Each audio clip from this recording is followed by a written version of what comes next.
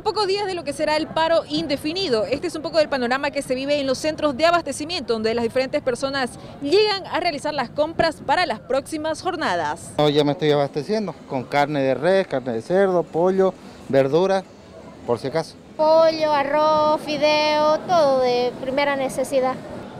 Bueno, estamos preveyendo comprar algo de carne, pollo y demás cosas. ¿Qué cositas ha comprado para abastecerse los próximos días? De todo, de todo compramos. Arroz, azúcar, harina, carne, todo eso.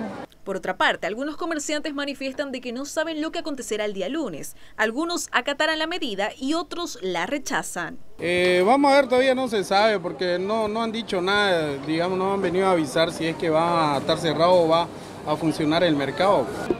No, no, sabemos todavía. Saben todavía no si sabemos. No, queremos trabajar nomás. Tanto tiempo que hemos estado en pandemia. Yo no tengo por qué acatar el paro. ¿Usted va a venir a trabajar a pesar de que A se pesar que como sea así o sí. Sí, señora, le vamos a acatar el paro, sí. Gente se está abasteciendo, ¿no? Por el paro, la verdad yo creo que hay que acatar. Se va a acatar a partir de la medianoche del día lunes. Luego de recorrer varios centros de abastecimiento, logramos evidenciar que los precios de la canasta familiar se mantienen normales y están a la espera de todas las personas que vayan a realizar sus compras.